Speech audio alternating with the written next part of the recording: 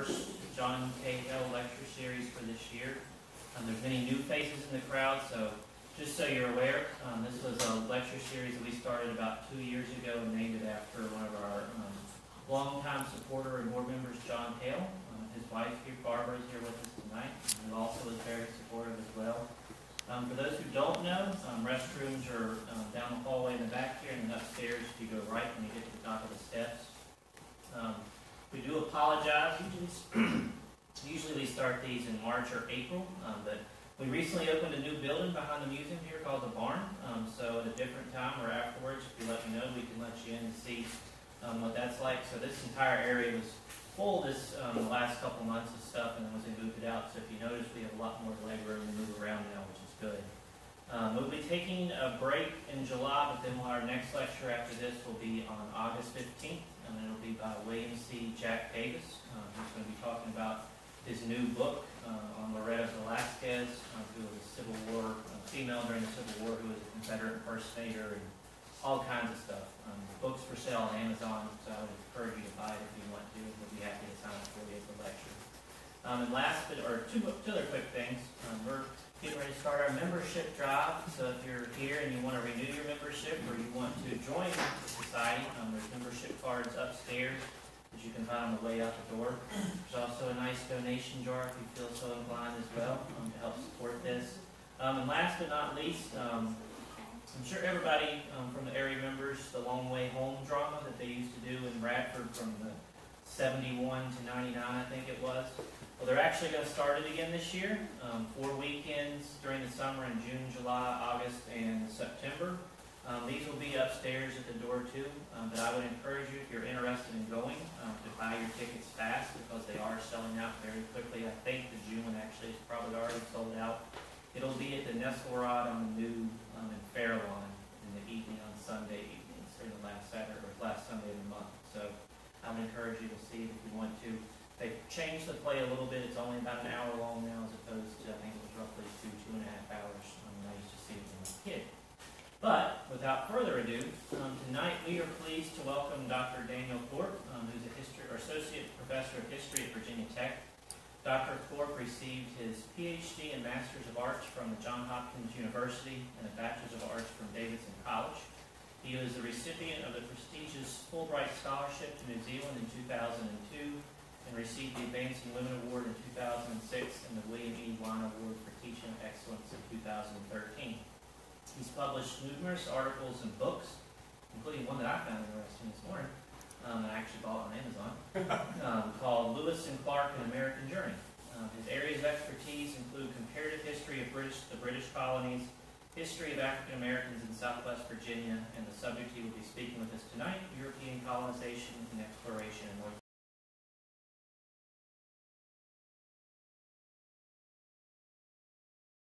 America. So let's give a warm Um, I, I think this, the, the images aren't critical to what I'm doing, so hopefully this will be big enough, not we'll have to move the table back a little bit.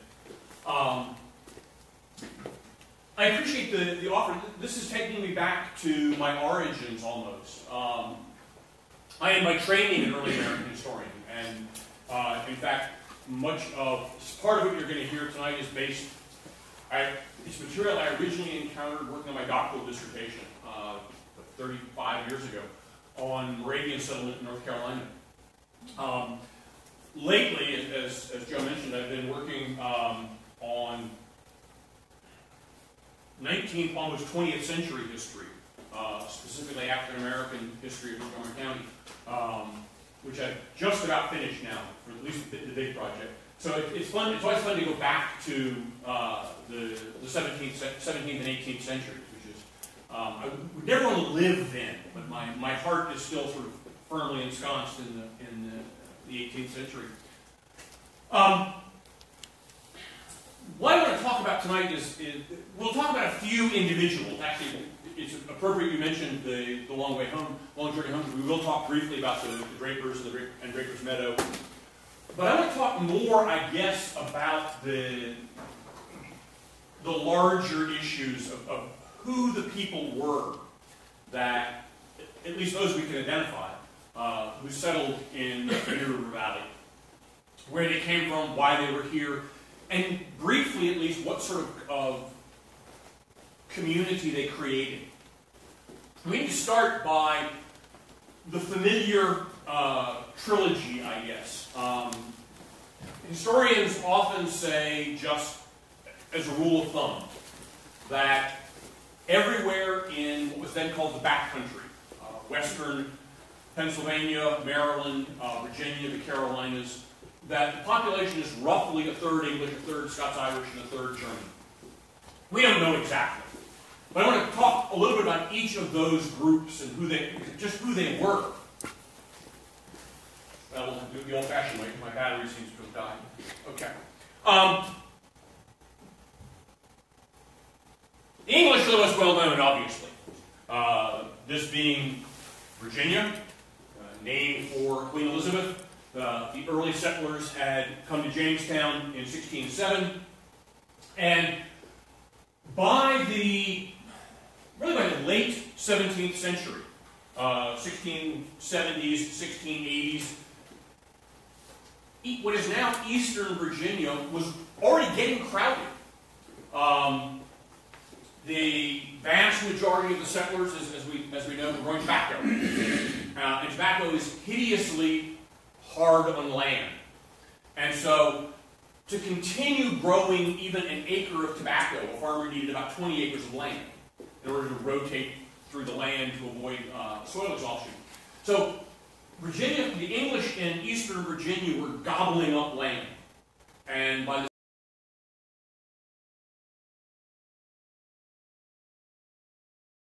the 1670s, 1680s, and in fact, so as a result, in the 1670s, that the first known English exploration of the New River Valley occurred. Uh, men became, became coming, began coming up here in the 1670s uh, and encountered what they then called Woods River, uh, what we now call the New River. So the English were the, the largest population in Virginia. Those we'll talk about, they were, not, they were not actually the largest by any means in this area, but they, they are the original settlers of Virginia and one important stream of those who would eventually work their way into the New River Valley. Less, I mean, equally familiar, but kind of still a bit mysterious to people, are a group known variously as the Scots-Irish, the Scots-Irish, the Ulster Scots. These are the descendants of Scottish colonists sent from England to civilize Ireland. Uh, they are not Highland Scots. Uh, the Highland Scots are a totally different culture. These were a group known as the Lowland Scots. They, what, one of the important things that distinguishes the Lowland Scots from the Highland Scots is the Lowland Scots were Presbyterians. Many of the Highland Scots were Catholic. Um, the Lowland Scots were good Protestants. And England was looking for reliable Protestant colonists to send to Ireland, which was awash in Catholics, or at least people that were nominally Catholic. Uh, Ireland had been colonized, had been, had been converted by the by Catholics, um, but their the religion had become a mixture of sort of local folk religion and Catholicism that many Catholics elsewhere in Europe didn't even recognize as Catholicism. But to the English, uh, Ireland was a barbaric Catholic country that needed to be civilized. And the way of doing that, uh, starting in the Elizabethan era actually, uh, late 16th century, was to promote settlement by reliable Scottish Presbyterians who would go to Ireland in return for free land and become dutiful servants of the Queen and civilize, and actually conquer the Irish. We talk about this as colonization. It was, in fact, conquest, uh, and a very brutal conquest. Uh, much, many of the men who would eventually lead the way to, to North America uh, cut their teeth settling uh, Ireland. And one of my favorites is named Humphrey Gilbert, who allegedly, uh, in order to intimidate the locals, had the pathway up to his tent lined each day with the freshly severed heads of Irishmen. so that those coming up to ask a favor might pass by their neighbors, uh, even their own family members. So it was a very nasty process. But it resulted in not the total submission of Ireland, but the settlement in Northern Ireland, which is where we now have you know, the, the, the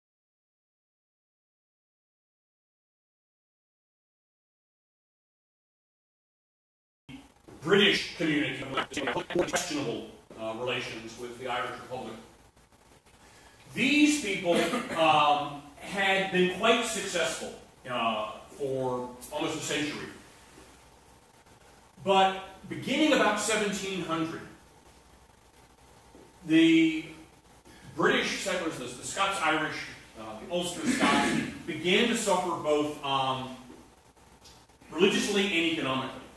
Um, economically, they were very successful making wool. Uh, Ireland, if you've ever been to Ireland, is a great place for sheep. Uh, it's, it's cool and damp, and grass grows very well. So Ireland was awash in sheep that produced very nice wool. Unfortunately, the Scots-Irish woolen manufacturers were competing with the English, who didn't like that. Uh, and so in 1699, uh, Parliament passed what's called the Woolens Act that basically destroyed the, the Northern Irish woolens industry. Uh, many of the Scots-Irish weavers were suddenly bankrupt, or at least out of a job. And so desperately trying to find some alternative way to make a living. At the same time, the Church of England was becoming less um, tolerant towards Presbyterians we think of England, you know, we think of Americans and English as sort of, in some way, interested in religious freedom. Um, England was not interested in religious freedom. It was interested in the state church, the Church of England. And so, in again, right about the same time, 1703, the Parliament passed a Test Act that, in order for uh, a Presbyterian to serve English government, to hold English positions, they had to take an oath which many of the Presbyterians objected to because it was an oath to the Church of England. It's not the sort of persecution we think of with something like the Holocaust, but it did cut many Scots Irish out of public life. So, for a combination of both economic and social reasons, uh, a number of Scots, a, a number of Scottish residents of Northern Ireland, Scots Irish, were by 1710, 1715 looking for a new home. And for the next 50 years, uh, until the American Revolution came along, uh, from about 1720 into the 1770s, thousands of Scots Irish migrated to North America. Originally to Pennsylvania. Pennsylvania uh, had large amounts of empty land at, at that time in the early 18th century, lots of empty land. And the government of Pennsylvania, under the Penn family, was, by the standards of the 18th century, remarkably tolerant to other religions. And so Presbyterians could worship there with no problem, they could serve in government, they could vote. Uh, there, were, there were no restrictions on Presbyterian activity, either religiously or socially or culturally, uh, in Pennsylvania.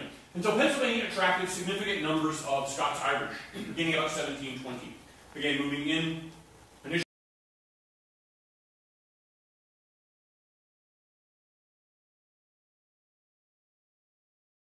to the city of Philadelphia, and then came to So that's our second group of actors. Third is a bit of an anachronism. Um, they're known as Germans there was no Germany in the 18th century. What there were were two dozen little bitty states, or big states in some cases, kingdoms, principalities, duchies, margraviates, uh, a variety of German states, all of which spoke German, all of which had in many ways a common German culture and heritage. But by the 17th, early 18th century, had often violent conflicts over religion. What's now Germany, this welter of small states, was the center of some of the worst fighting in Europe during the 17th century, uh, as ca- mainly Catholics and Protestants fought one another.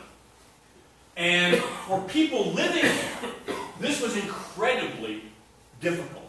I mean, not only did you have armies coming through your, your village every now and then, uh, and conscripting people, or taking your cattle, or burning down your house.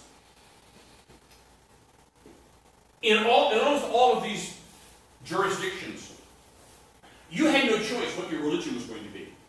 You worshiped as your as the leader of your state told you to worship. So you might be you might be in a Protestant community for 10, 15 years. And then if the leader of the if the leader of the state died and was replaced by an heir or decided to convert, you had to adopt a different religion, whether you wanted to or not. Um, both militarily and culturally, many of the Germans, particularly in a region called the Palatinate, which is right kind of on the border of uh, France and what's now Germany, many of the uh, residents, residents of the Palatinate suffered particularly from the, war, the, the fighting that was occurring during the 17th century. And like the Scots Irish, thousands of Germans desperately wanted to go somewhere else. Well, this is just the point at which a German became the King of England. King George I didn't even speak English. He was from one of the German states, and when he, when he became King of England, uh, he and his government retained a soft spot for German Protestants. Not Catholics, uh, but the German Protestants. And many of the Palatinate Germans were Protestants. And so when uh, they began looking for, for homes to get out of uh, war-torn Germany, England welcomed them not so much in England as in English colonies. Because, again, uh, England had lots of land and not that many people, and it wanted people to settle on its country, in, in its countryside, in, in its colonies. And so, again, right about the same time as the Scots Irish, beginning about 1720, for the next 40 years, thousands of Germans migrated to British America, and again, particularly to Pennsylvania. These, in fact, are the people that we think of as Pennsylvania Dutch. Dutch is simply a corruption of Deutsch, or German. Uh, these were various German Protestants that, again, like many of the Scots Irish, initially arrived in Philadelphia, moved out into the countryside, and began to establish themselves as very successful farmers. Finally, one other group that I do want to introduce, a distinct minority, but nevertheless present, we forget them sometimes, are African Americans. While most of the settlers in the New River Valley were English, Scots Irish, or German, um, a significant number were African American slaves. They had been in Virginia almost as long as the English had been. We don't actually know precisely when the first Africans arrived in Virginia. The earliest we know of uh, was 16, 1619. And so by the time of the American Revolution, um, African slaves, or African Americans, uh, who had become slaves eventually, uh, had been in Virginia for a century and a half. These are in many cases fourth and fifth generation uh, individuals. And by the 18th century, slavery had become a significant element in the English economy and culture in Virginia. I mean, you, you don't have to have slaves to grow tobacco, obviously. But Virginians discovered it was a lot easier if slaves did the work. And tobacco was profitable enough that you could afford, if you, if you had enough tobacco, you could afford to buy enough slaves to keep growing more tobacco. And so during the course of the late 18th, or late, late 17th, early 18th century, um, the number of slaves in Virginia kept growing to the point that about a third of the colony's population was African American by the 1720s, and 1730s. About, in other words, about three times the, the current national population. Nationally now about 12, 13% African American. Uh, Virginia was about 35% African American. by the 1840s, or the 1740s. We don't know, uh, as I said, how many African Americans came to the New River Valley or even when they first came here. The earliest that we can absolutely document would probably just be the, the 1790 census. Uh, but by then, they were already more than 5% of the population uh, by 1790, and that number would keep growing in, in the years to follow. So, we got four different populations who arrived here at about the same time, but from two very different directions. The River Valley is a meeting, meeting point, not just for four different peoples, but for two very different population streams. The most well known is from north to south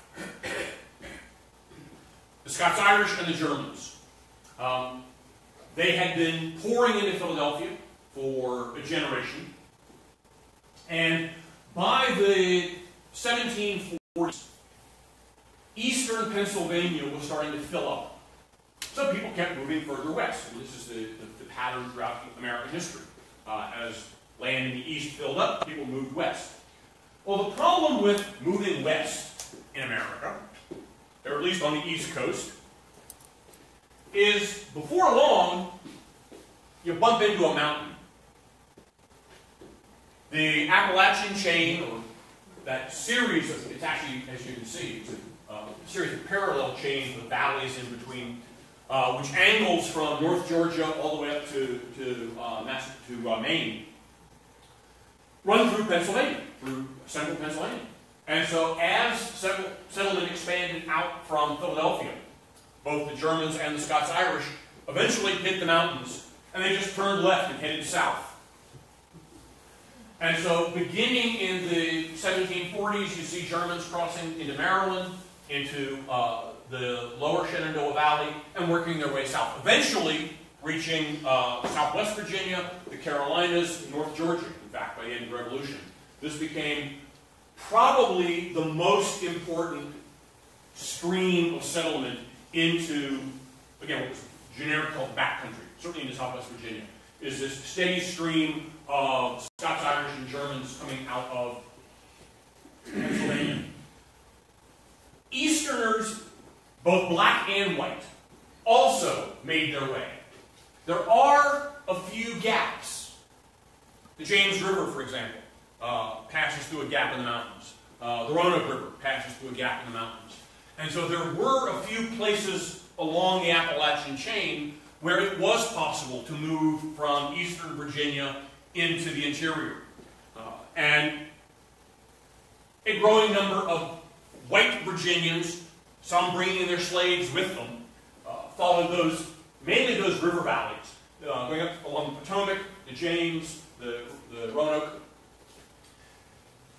These two line, these two groups, or these four groups, these two uh, uh, pathways met in the Roanoke Valley and the upper Shenandoah Valley, sort of from Staunton south. Now, part of this was, as I've been describing, um, a push factor. There were lots of just individual small farmers who wanted a better livelihood. They could not get enough land to support their family in Pennsylvania or in eastern Virginia, and so they moved west or southwest looking for more land. That push factor um, was probably the most important. But there was, there was also a pull factor that is often forgotten about. Uh, and that was basically corporate greed, at least the 18th century version of it. Um, the equivalent in the 18th century, I guess, of Google or Amazon in southwest Virginia uh, were what were called land companies. The land where we're located, the land in western Virginia, was claimed by the King of England as English land that the king to dispose of as he saw fit, usually through his agent, the governor of Virginia.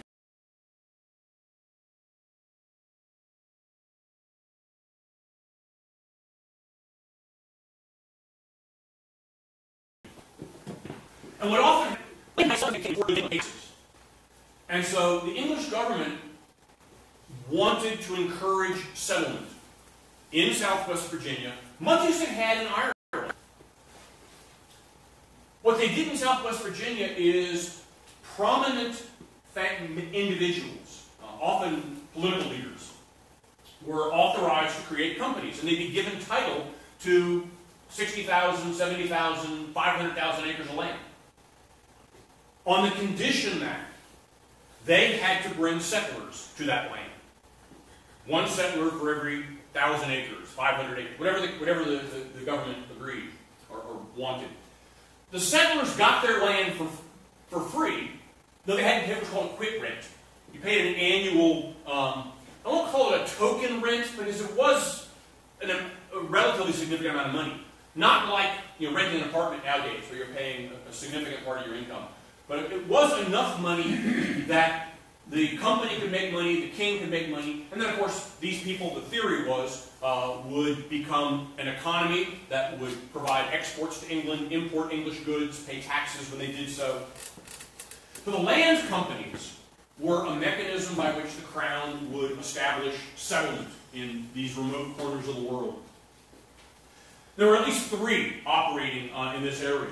The, the, Woods River Company, named for the original name uh, of the New River. This is the one that James Patton, uh, whose family helped establish Smithfield. Um, James Patton was a member of the uh, Woods River Company. Lawrence Washington, who was uh, George Washington's older brother, the man who actually built Mount Vernon. Uh, Lawrence Washington and some of his, some of the leads actually along with Washington uh, were part of a company called the Ohio Company. And then uh, Thomas Jefferson's father, uh, Peter Jefferson, along with uh, Josiah Fry, Joshua Fry, who was a, a, surveyor, and a man named Thomas Walker. Uh, they were instrumental in what was called the Loyal Lands Company. so the Woods River Company, the Ohio Company, the Loyal Lands Company were all trying to recruit settlers to, to settle this area. They all had grants for this area.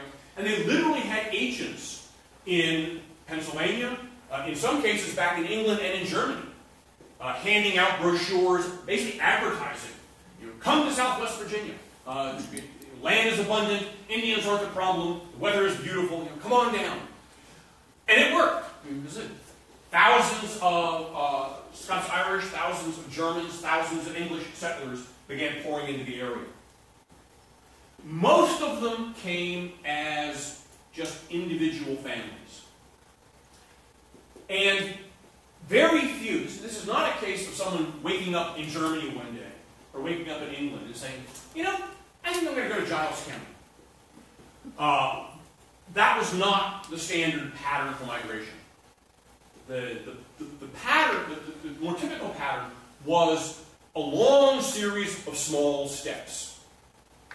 And one of the clearest examples we have of this actually is uh, the Harmon family. Uh, eventually, Adam Harmon, where, the, where uh, Mary, Mary Draper Ingles came back. Uh, that family, the Harmon family. Um, we can trace them from Germany to the New River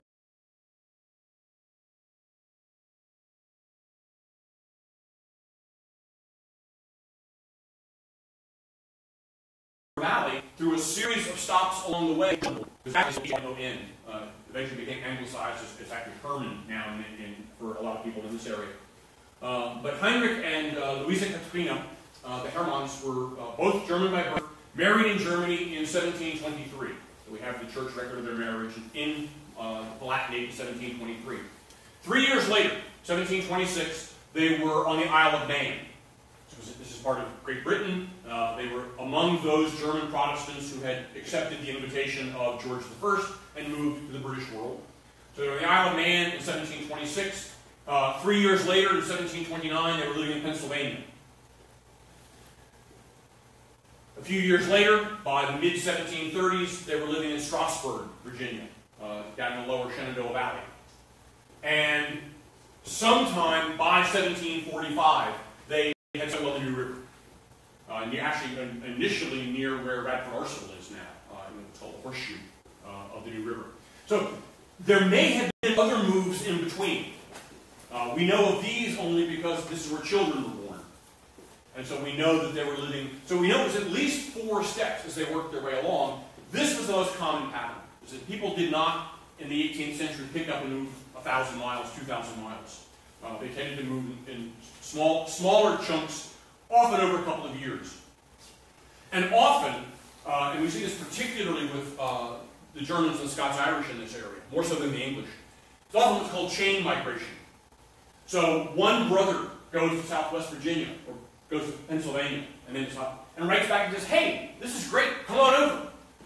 And another brother comes, and then three cousins, and eventually you get a whole extended family settled in a region, uh, who came not as a family, not as a, as a group, uh, but as individuals following one another, uh, and eventually settling near one another. But there were some larger groups. Um, and this is one of my favorite parts of the history of this region because I, my, my doctoral dissertation was on the Moravians. The Moravians are not very well known nowadays, but they were a group of um, German pietists in the 18th century. And the 18th century is full of these sorts of wacky religions, including one known as the Ephrata Brethren. Um, if you're ever in southwestern Pennsylvania, um, I encourage you to go to the Ephrata Cloisters. They're fantastic buildings. Looks they're totally medieval, uh, set in the middle of, of southwestern Pennsylvania or south central Pennsylvania. Excuse me. Yeah. Eastern Pennsylvania. Oh yeah, thank you. Eastern. I laugh. Yeah. I'm familiar with it. Where are you from? We live in near Lancaster. Right. So yes, I forgot. Um, Ephrata is, I guess, between Lancaster and. And, okay. I haven't, I haven't been up there for a number of years, but it's a fantastic place to visit. Anyway, the, the Ephrata Brethren, these were um, dissenting Lutherans, basically. The Germany in, in the late 17th, early 18th century had an enormous religious revival uh, known as Pietism, in which uh, individuals broke off of, among other things, the Lutheran Church because they felt the Lutheran Church was too intellectual. Um, among those were a group that today, their descendants today, uh, and they're still in Southwest Virginia, uh, are the German, German Baptist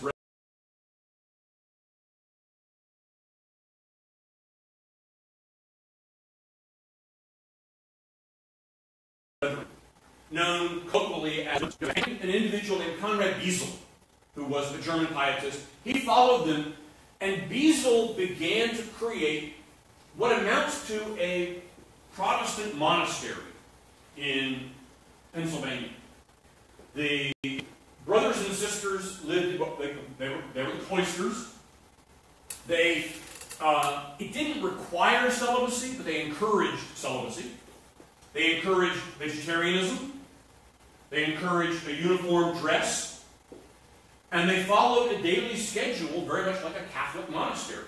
Um, the the rooms in which the, the individuals slept, like cells, had a board with a basically a piece of a four by four for a pillow. And you would go to bed at sundown, wake up about midnight to go pray, then go back to bed for a few hours, then wake up to pray and start working. Uh, it was very much a life devoted to um, prayer, in theory, devoted to prayer and to uh, work. Like many religions, they had a schism. Uh, members of the, the, the congregation, uh, particularly some the four brothers, uh, Samuel, Emmanuel, Israel, and Gabriel Eckerlin. Uh, the Eckerlin brothers disagreed with Conrad Beissel, and so they left Ephrata in 1745, and they went, as they said, they fled toward the setting sun until they were beyond all Christian governments. Where they were was actually Claytor Lake. At least what's now Claytor Lake. Under Claytor Lake, uh, if you're old enough or enough of an antiquarian to look at old maps, you know that under Claytor Lake is a place called Dunkard Bottom. That's how it got its name. That was where the Eckerlins settled. They did their best to establish a community like Ephrata uh, at Dunkard Bottom they quickly encountered one problem. Uh, Thomas Walker came through and talked about this. It's hard to be a vegetarian when there's no crops initially. I mean, they've got their, their deer and there's turkeys, but they're not really vegetables. Uh, and so the effort of the, the, the renegades didn't follow all of the rules, and they didn't stay very long. Um, they, they were gone within about five years. Uh, they arrived here about 1745. Uh, they were still here in, in early, the early 1750s when Thomas Walker came through, uh, and soon after the, the community began filtering away. Some back to Ephrata, uh, some actually went down to North Carolina, to what's now Winston-Salem, where the, they encountered the Moravians and, and settled in that area, uh, and others just sort of drifted away. So there were the occasional organized settler uh, or settlement process. But the vast majority of the settlers who came to this area were simply individuals in family groups.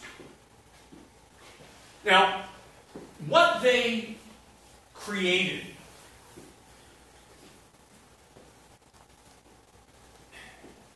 by our standards, it was a primitive, raw community.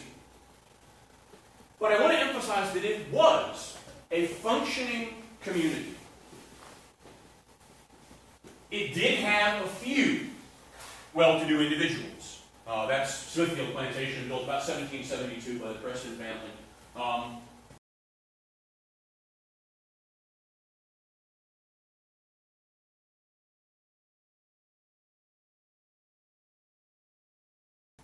probably the wealthiest family in the area. Um, yeah, I mean, originally, when they first got here, probably living in, in uh, holes in the ground or just tents. Uh, these houses were fairly easy to build, fairly quick to build. And what quickly developed in Southwest Virginia was what one historian of, of ethnic groups has called an open society dotted with closed enclaves. There were no laws saying where you had to live. You could live anywhere you wanted to. In fact, one of the problems was the total chaos of not knowing where you were or whose land you were on.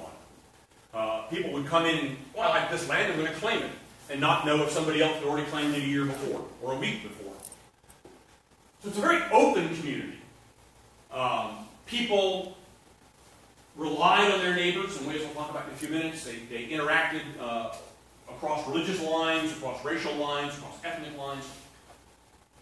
But they tended to live and associate most closely with people of the same religion and the same language. So you had German communities, Scots-Irish communities, English communities that might be a mile or two apart, and they would often trade with one another and increasingly intermarry, but they tended to trust one another and associate with one another. Uh, one of my favorite examples of this actually is when I was in college. Um, I went to Davidson College, it was outside Charlotte. And there actually is a, a creek in um, County, a Buffalo Creek. And the branches of that creek to this day are named Irish Buffalo Creek, German Buffalo Creek, and Scotch Buffalo Creek, uh, or English Buffalo Creek, because that's where the communities lived. And they often spoke their, their native language. Uh, Germans in this area spoke German. This is one of the things I, I went back a number of years ago to, as a sort of consultant at uh, Old Salem. Um, and they were talking about doing a, a, visit, a visitors program. And I kept, I don't think they ever did this, I kept encouraging them in the background with, as it's beginning, have people speaking German. Because that's what you would have heard if you had walked into uh, any of these German communities in southwest Virginia. The Harmons did not speak English around the house. They, in many cases, learned German, learned English, but German was their first language. And it's one of the reasons that these groups tended to associate with one another, is they could talk to one another. They also tended to be of the same religion. So the, the English tended to be Anglicans, the Scots-Irish tended to be Presbyterians, and the Germans tended to be either Lutheran or one of the pietist branches of, of Lutheranism. Uh, and so they established their own churches and worshipped together, uh, tended to intermarry. Eventually, these would blend, and you would, you would get an American population that combines them all. And I suspect most of us in here have some Scots-Irish blood, some German blood, and some English blood all mixed together. But initially, uh, they tended to live fairly isolated lives. And it was, by our standards, a rather Spartan existence. Um, I mentioned the Moravians a couple of times. One of the, things- the reason, the historians like me love Moravians is Moravians wrote down everything. Uh, they kept records about everything. And one of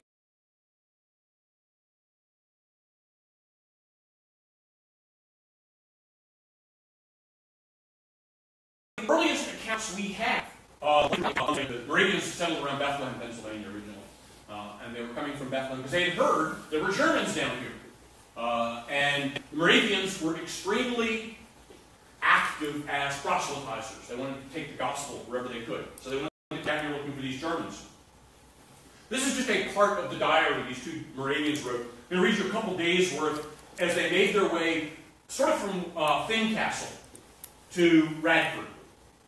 That was the approximate route. November 1st, or November 7th, excuse me. Our path led through the mountains. We heard an awful howling of wolves in the morning, quite near. We wished them far away. When we crossed the Catawba Creek, and Catawba Creek runs um,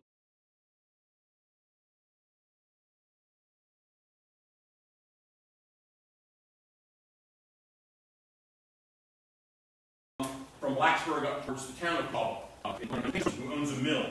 Here we expected to get some bread, but his answer was there was not a bit of bread in the house. We went two miles further, and as we heard that there was no house for 12 miles, we stayed there overnight. The next day, it snowed the whole night. We started early in the morning and went along on our way, which was quite narrow and very wet on account of the snow. This is, this is what passed for a road at this time.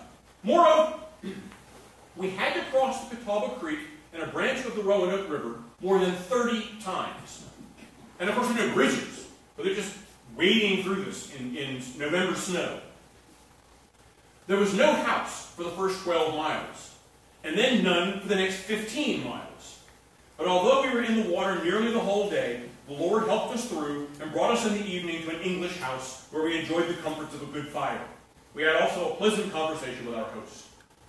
On Sunday, November 9th, we are glad in anticipation of seeing the new river today, and ask the Lamb, the Moravians called Jesus, ask the Lamb for a favorable reception among the Germans.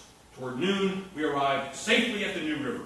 We were taken across the river to Jakob Harmon, who together with his wife received us with great joy and love. And they went on to stay for a few days preaching in the neighborhood.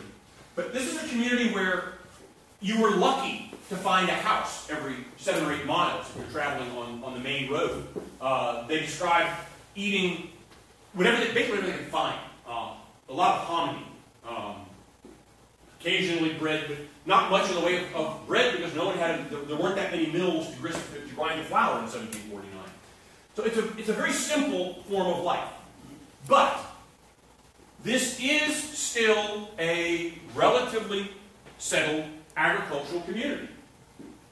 Very, very quickly, farmers in the New River began clearing the forests and mainly planting uh, initially corn. Uh, corn was the, the favorite crop of virtually all frontiers people because it takes almost no preparation to grow corn. You don't even need to get rid of the trees. They could, in this case, they've actually cut them down by now, but you could actually just girdle the trees, which would kill the leaves. Then the sun could come through, and all you had to do was then plant corn around the trees. And when it was ready, you just go out and pick the, you didn't have to have a plow, didn't have to have a threshing machine, didn't even need to have to have a mill. Uh, corn could be, could be eaten without being milled. So initially, people grew corn, but their goal was to switch over to wheat, uh, which most people regarded as more civilized. Corn was for cattle, uh, or people who were still quite crude. Um, and as quickly as possible wanted to start raising wheat. But grain was the principal crop in this area. Even though the English knew about tobacco, um, tobacco was not important in the early economy of the New River Valley because you couldn't do anything with it. You could grow it very easily. But then what? You can't get it to market. Um, in eastern Virginia, tobacco was generally put on in, in hogsheads and put on boats and taken down rivers. What are you going to do here? Put it on the New River? And then what? You know, if you can get it past the falls and the, and the rapids, you get into the Kanawha and the Ohio, and well, this isn't going to help any. So uh, there was no way to get tobacco to market. So the economy tended to be uh,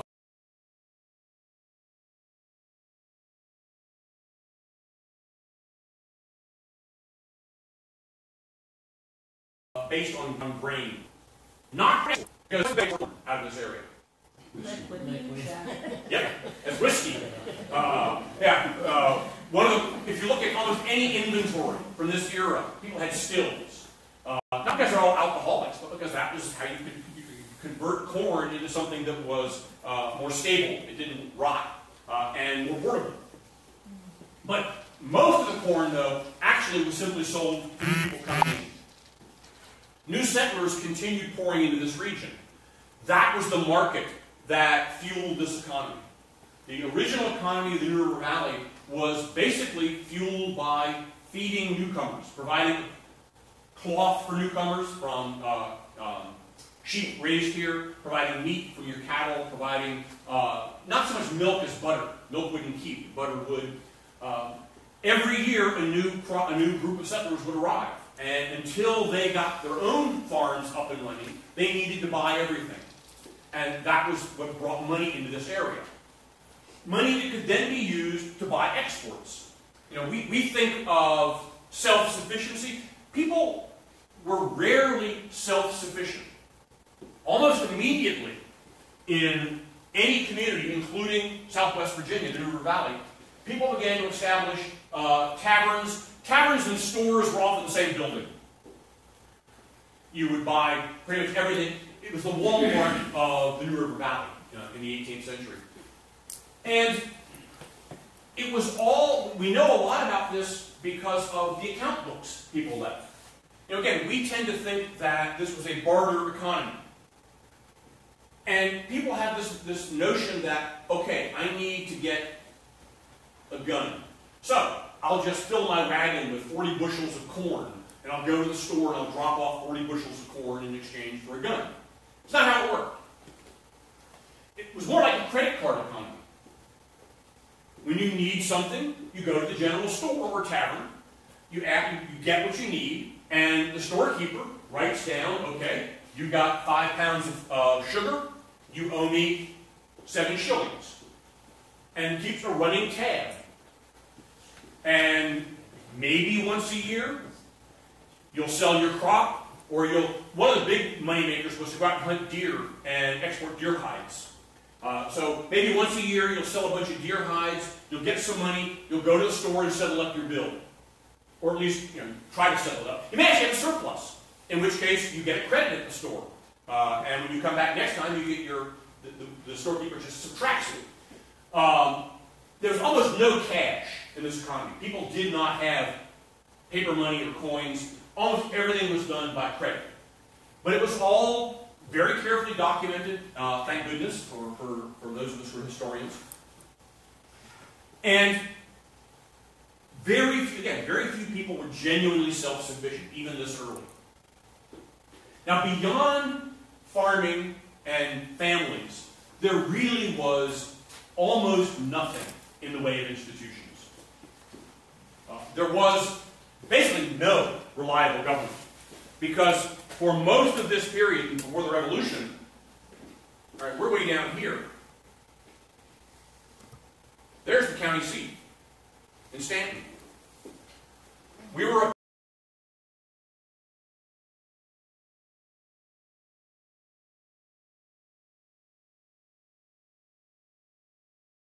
we were part of uh, Augusta County for years, uh, through crossing the Catawba Creek 30 times uh, to get up to Augusta to register your, your deed.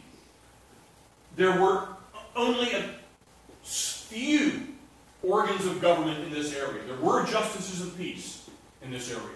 So, for small crimes, uh, a local court could, could try, not, nothing big. Anything big, you had to go to Staunton or all the way to, to Rich, or all the way to Williamsburg uh, for, for trial. Um, there was no police force. There was a militia. At least it was supposed to be. Uh, just whoever in the neighborhood would volunteer. But A few years later, George Washington said raising the militia in Virginia was like trying to raise the dead. Uh, militiamen were not all that enthusiastic about serving. So there's really not much in the way of, of any government in this area, which is actually one of the things that attracted some people to this area. Uh, if you were if, if you were bankrupt in Philadelphia, just head for Southwest Virginia. No one knew who you were. You could start all over again. Almost the only institution was churches. These began almost immediately. Again, by and large, Anglican churches among the English settlers, uh, Presbyterian churches among the Scots-Irish settlers, and Lutheran churches, or some variant of Lutheranism uh, among the Germans. There was, however, no religious structure. I mean, there are no bishops, there are no um, synods. There were just isolated churches, often without a minister. Uh, there would often just be a lay preacher or a passing Moravian missionary who would come through. Moravians would preach to anybody, uh, and anybody would listen to them. Uh, the, the English, fine, you're, you're, you're a Moravian, we're English, we don't care. Come in and just give us a sermon, we don't care. Um, and occasionally people would go even to one another's churches. This is one of the ways in which those separate enclaves began merging, uh, was in, in church. It was still a small, crude, uh, isolated community, but it was important because the presence of these English and Scots-Irish settlers in southwestern Virginia antagonized or scared the French, who had been working their way from what's now Canada down into Ohio, western Pennsylvania. And so by the early 1750s, the French decided they needed to begin to fortify this region. And so they set out to establish forts in what's now Ohio and Pennsylvania. One of those forts, what's now Pittsburgh, became the flashpoint for what would become the Seven Years' War, the French and Indian War. That in turn led to the expulsion of the French and, to many historians, the opening round of the American Revolution. And that, of course, led to the creation of the United States. So in some ways, you know, settlement here in the New, New River Valley directly led to the creation of the United States. Uh, we are in Philadelphia now. We are the, the, the birthplace of the United States is, is here in the New River Valley. All right, I've good. I didn't go too long. I wanted to leave time for questions. Um, thank you for your patience, and I'll be happy to answer any questions you might have.